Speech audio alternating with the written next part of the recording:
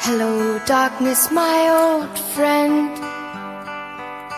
I've come to talk with you again.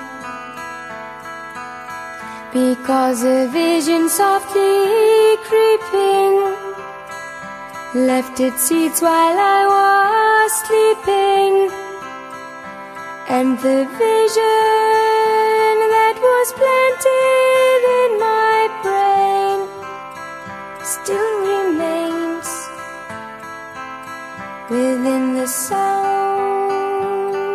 silence.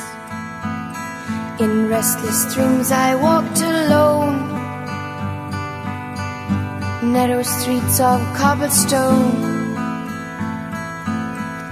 Neath the halo of a street lamp I turned my collar to the cold and damp. When my eyes were the flash of a neon light that split the night and touched the sound of silence. And in the naked light, I saw ten thousand people, maybe more.